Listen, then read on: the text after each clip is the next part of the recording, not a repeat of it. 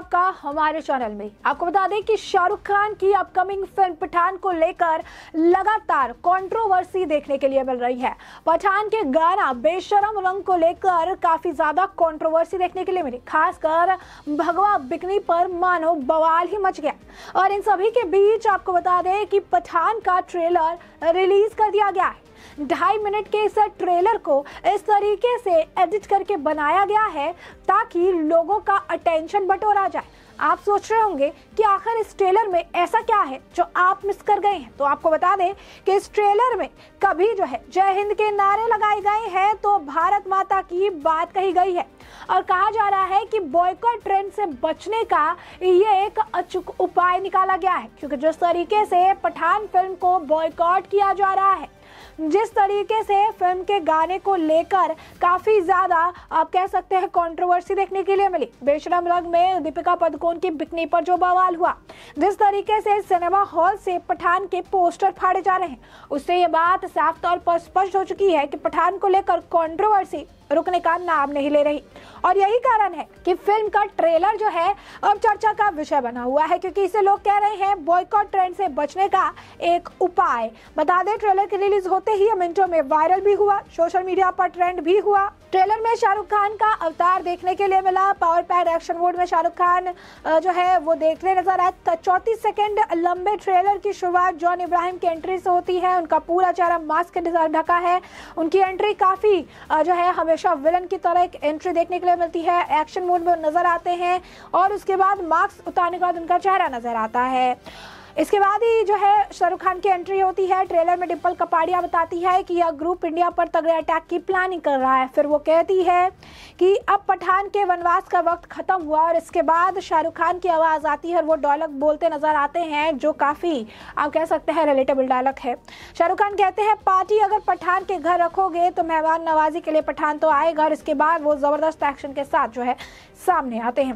बता दें आपको ट्रेलर में आपको ऐसे कई डायलॉग सुनने को मिलेंगे जो देशभक्ति की भावना के ओत प्रोत है। जैसे शाहरुख खान बोलते हैं कि एक सोल्जर ये नहीं पूछता था, ये नहीं पूछता कि देश ने उसके लिए क्या किया, बल्कि ये पूछता है कि वह देश के लिए क्या कर सकता है। साथ ही ट्रेलर में जय हिंद के नारे भी खूब लगते नज़र आए।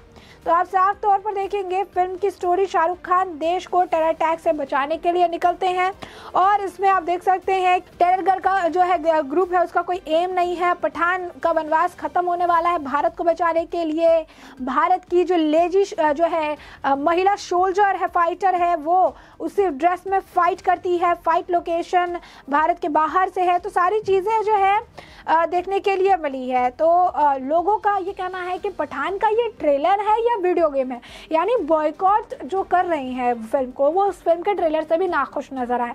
भले ट्रेलर को उन्होंने इस तरीके से एडिट करके डाला, ढाई जो है मिनट का ये ट्रेलर की, ताकि लोग लगे कि देश को बचाने के लिए ये कर रही है। देश भक्ति के ओत प्रोत है। जय भारत, जय हिंद के नारे कई बार लगाए गए हैं। लेकिन शाहरुख खान का ये टैक्टिक्स जो है वो काम करता नज़र नहीं आ रहा है, क्योंकि ये देखने के बाद एक लोग कहते हैं कि आखिर पठान ट्रेलर को लेकर इतना हाइप क्यों बनाया गया है?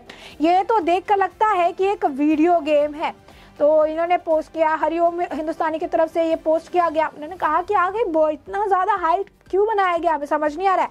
ये तो ऐसा लग रहा है कि हम जो है, एक वीडियो गेम देख रहे हैं। वही के ने भी फ़िल्म के ट्रेलर को काफ़ी, आप कह सकते हैं कि हँसी उड़ाई उसमें। बहुत सारे सीन को लेकर उन्होंने हँसी उड़ाई। लोग मीम भी बना रहे हैं तरह तरह के मीम बना रहे हैं मीम बना के डाल। तो सही पे अगर बोले तो उन्होंने कहा कि कुछ लोगों का मानना है कि पठान ट्रेलर देखने के बाद उन्हें लगता है कि कॉपी पेस्ट है रेस टू धूम टू इन सब का मिश्रण है। उसे मिला फास्ट एंड फ्यूरियस वॉर इन सब का जो है, एक तरह से एक्सट्रैक्शन है। सारा जो है इन्होंने सब कुछ मिला जुला के उठाया है और उसी के बाद इसे उन्होंने बना दिया है। तो लोगों का कहना है कि बॉयकॉट पठान हो रहा था बॉयकॉट पठान होगा। के आर के ने भी बॉयकॉट पठान पर काफ़ी ज़्यादा प्रतिक्रिया दी है। उन्होंने कहा है कि क्या लोग अभी भी आपको बता दें कि जो है ट्रेलर कर रही हैं। लोग कह रहे हैं कि जब ट्रैफ़िक पुलिस पूछते हैं कि हेलमेट किधर है तेरा तो इस तरीके से क्योंकि वो एक सीन है जिसमें ड्रोन के ज़रिए दोनों फ़्लाइट कर रही हैं वॉर का सीन है।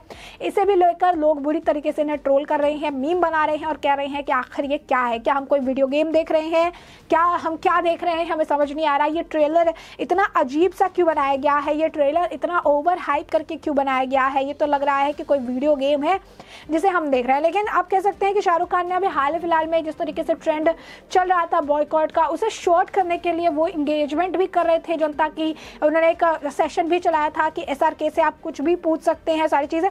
ध्यान देने वाली बात है कि इन सबके बीच ट्रेंड ऐसा भी है। एक व्यक्ति है विकास आहिर उन्होंने लिखा था कि शाहरुख खान ने भावुक अपील की है कि अगर पठान फ्लॉप हो गई तो उनका घर बिक जाएगा। आइए हम सभी मिलकर घर बेचने से उनकी सहायता करें। तो बॉयकॉट पठान अभी भी ट्रेंड कर रहा है। लोग कह रहे हैं कि पठान में जितने पैसे लगे हैं, सारी चीज़ें हैं तो वो उनसे अगर नहीं होता है तो उनका घर बिकने के काफ़ी ज़्यादा चांसेस है। तो साफ़ तौर पर अपनी अपनी तरह से अभी भी बॉयकॉट ट्रेंड टूल पकड़ा हुआ है। भले सुनील शेट्टी इसके लेकर अपील करे कि बॉयकॉट बंद करवाए। हमें काफ़ी नुकसान हो रहा है। बॉयकॉट से काफ़ी परेशानी हो रही है। लेकिन बॉयकॉट ट्रेंड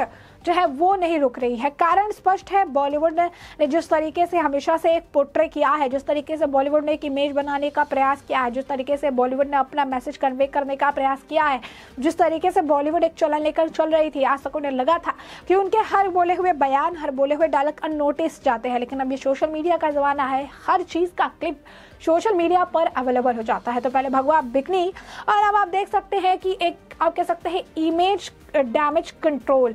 तो यही है ये फ़िल्म के अंदर चाहे कुछ भी हो फ़िल्म के ट्रेलर में पूरा भक्ति आप कह सकते हैं कि देशभक्ति दिखाई गई है।